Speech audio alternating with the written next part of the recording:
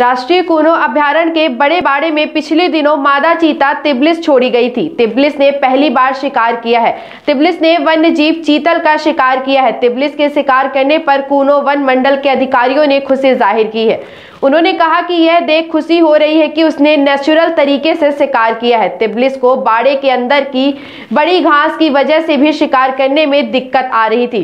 कूनो के अधिकारियों ने इसे देखते हुए शनिवार को बड़े बाड़े में तेरह और चीतल छोड़े। इसके बाद रविवार को तिबलिस ने एक चीतल का शिकार किया। अब तिबलिस नेचुरल तरीके से दूसरे जीवों का शिकार कर सकेगी। दूसरे चीते भी शिकार करके अपना पेट खुद भर रहे हैं। चीता ट्रांसपोर्ट के अधिकारी इसे देखकर खुशी ज़ाहिर कर रहे हैं। चीता टास्क फोर्स के अधिकारियों के कहने पर कूनो वन मंडल के अधिकारियों ने पिछले 27 नवंबर को मादा चीता तिबलिस और एक अन्य चीता को बड़े बाड़े में रिलीज़ किया था। इसके बाद से यह लगातार वन्य जीवों का शिकार करने की कोशिश करती रही, लेकिन तिबलिस को कोई कामयाबी नहीं मिल रही थी। राष्ट्रीय कूनो अभ्यारण्य के डीएफओ प्रकाश वर्मा ने कहा कि मादा चीता ने नेचुरल रूप से शिकार किया है। यह वाकई में खुशी की बात है। हमें लग रहा था कि बड़ी घास होने की वजह से शिकार नहीं कर पा रही थी।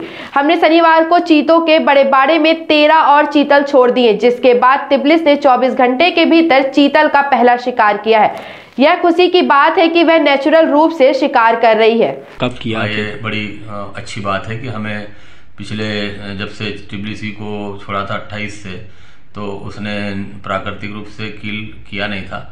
लेकिन वहाँ पर चूँकि घास भी थोड़ी ऊँची है, थोड़ा सा घना भी है पेज तो लग रहा था हमें कि थोड़ा सा हो सकता है चीतल उतल उसको देखने में आ रहे हों। फिर कल और चेरा तेरह चीतल और उस बाड़े में छोड़े गए, और आज सुबह जो मॉनिटरिंग टीम गई थी, उन्होंने देखा कि उसने टिबलिसी ने भी शिकार कर लिया है।